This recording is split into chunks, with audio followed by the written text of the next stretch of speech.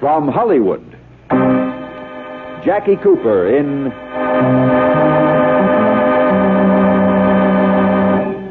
The Unexpected. The unexpected. The Unexpected.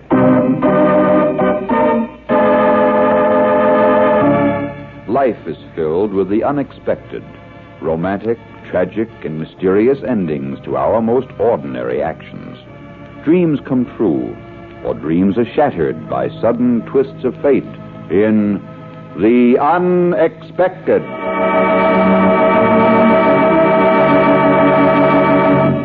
But first, a word from your announcer.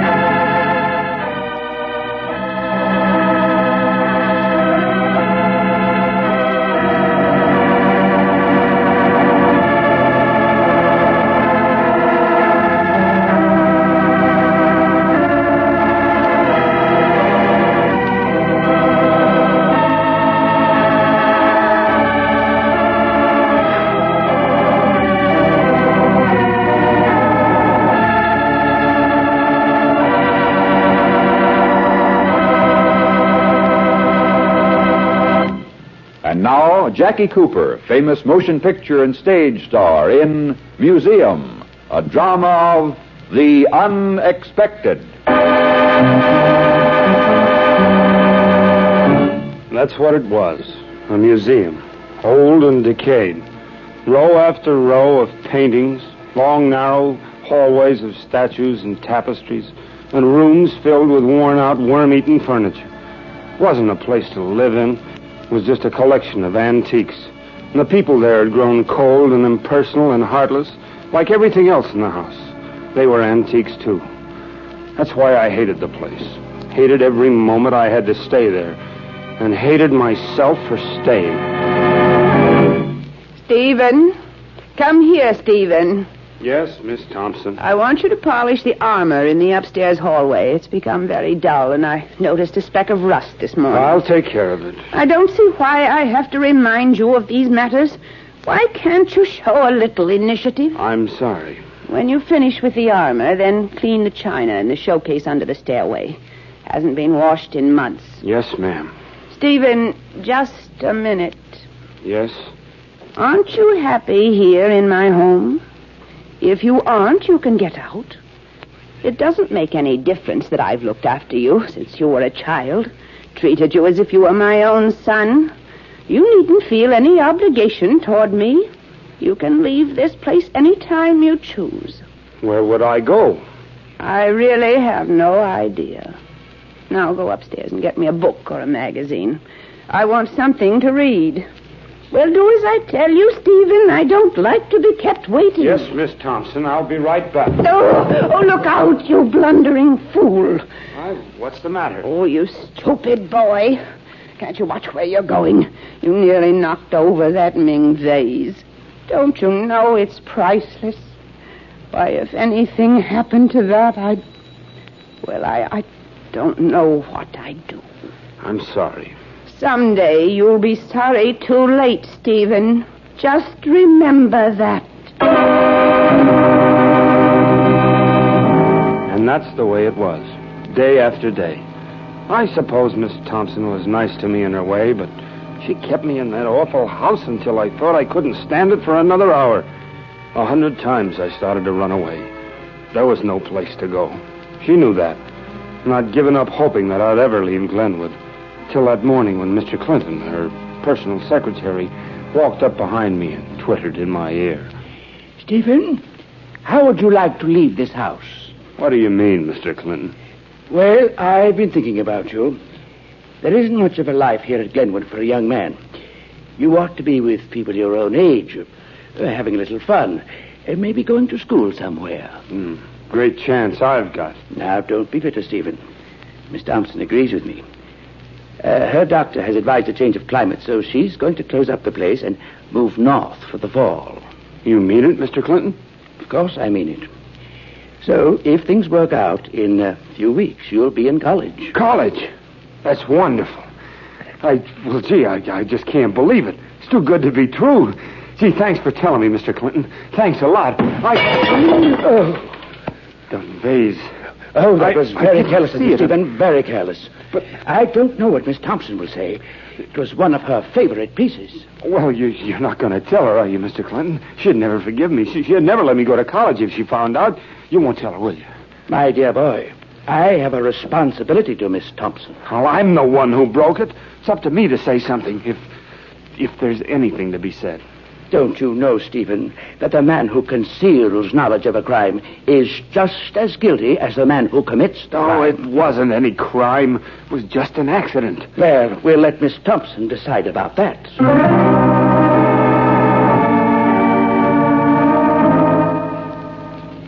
Don't argue with me, Stephen. Mr. Clinton has told me exactly what happened. I didn't mean to knock it over, Miss Thompson. I was just excited about going to college. Well, you can curb your pleasure now. You mean you aren't going away? Oh, yes, yes, I am. You're you're not taking me with you? I should hardly think so, Stephen. You're not going anywhere until you learn to conduct yourself like a gentleman. But no. That's not fair. Not a bit fair. It was just an old flower pot. You're quite right. It was a very old flower pot. And it was worth a great deal more than money. But I don't expect you to understand that, Stephen. Not yet. Oh, I understand all right.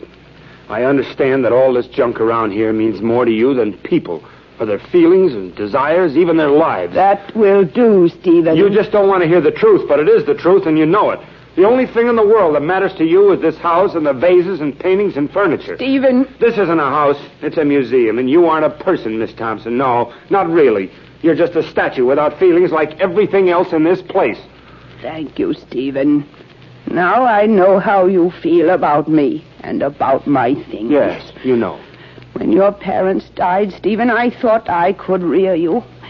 Instill a love of beauty and fine art and craftsmanship. It's obvious I haven't succeeded. But I won't give up quite so easily. I think there's still hope for you, Stephen. And so, while Mr. Clinton and I are up north, I'm going to permit you to remain at Glenwood. I'm going to stay here. You don't have to. You're always free to leave, Stephen. Yeah. Of course, if you should decide to remain, perhaps then you'll learn a true appreciation of fine art. One must live with art in order to understand it. I'll stay, Miss Thompson. Oh, yes, I'll stay. I thought you would. Well, I'll, I'll tell the caretaker he won't be needed. You'll uh, be able to look after everything, won't you, Stephen?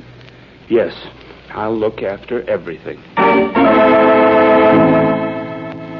So I stayed on in Glenwood, all through the end of that long, hot summer, alone, with only the smell of old furniture and painted canvas for company. As the days went by, I realized I could never break free from Glenwood. I was really trapped now, caught forever, in a maze of dust and old brocade and stained glass. There wasn't any way out. I was sure of that. Until one afternoon, when I saw a chance to get out. I was working in the garden when I first noticed it. A faint, pungent odor. Smoke. Yeah, something was burning. Inside the house, a fire had broken out.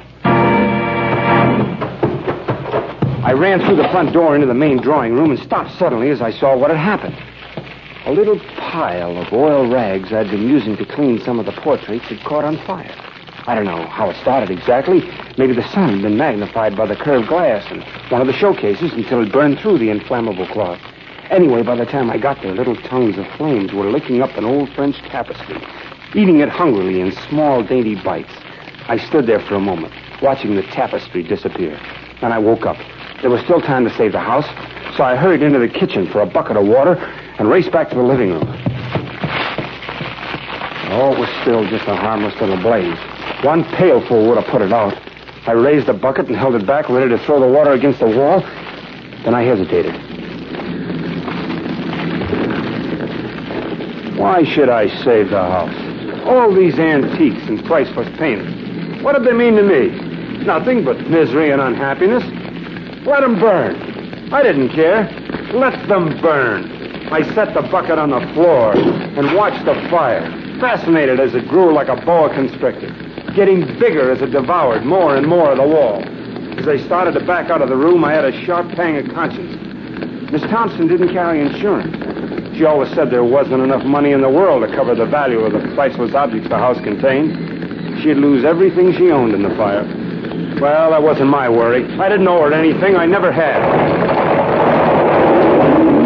One of the ceiling beams came crashing down beside me, and I knew I had to get out of there and get out fast. So I ran down the hall, the heat following on my heels.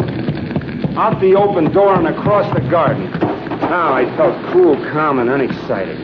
Behind me, the dying house chuckled and laughed as the fire embraced it in unrelenting arms.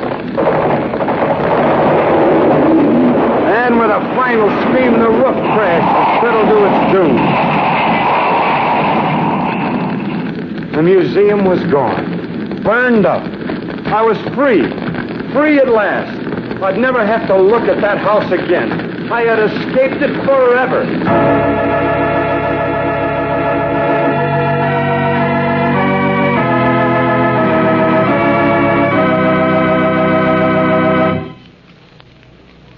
You think the story is over, don't you? But wait. Fate takes a hand. Wait for the unexpected.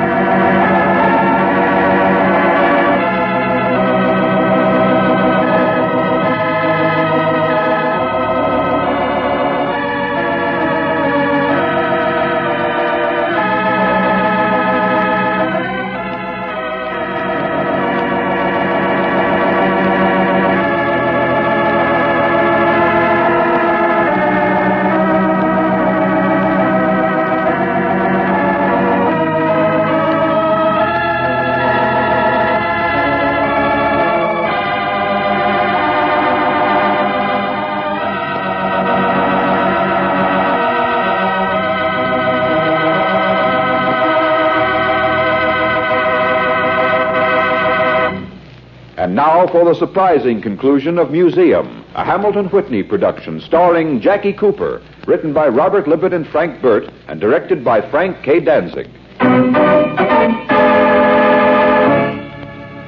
It was the next day before I could get a call through to Mr. Clinton.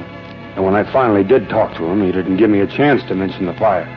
He had something much more important on his mind. I'm so glad you called me, Stephen. I've been trying to reach you for several hours. Miss Thompson. Uh, what about Miss Thompson? You must be brave, Stephen. Miss Thompson passed on last night. It was very sudden, a heart attack. You.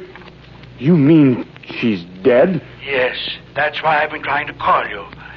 And uh, I don't suppose I should mention this yet, but you're a very wealthy man, Stephen. But, Uh, but you I, see, I, I know about the will. Miss Thompson left you the house and everything in it. Yes, Stephen, you certainly are fortunate. I wish I had your luck.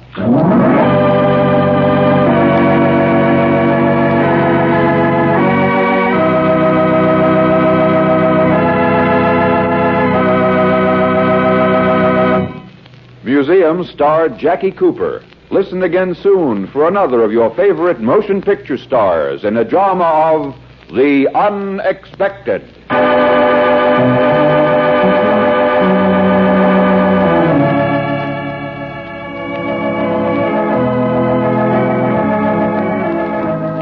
This program was transcribed in Hollywood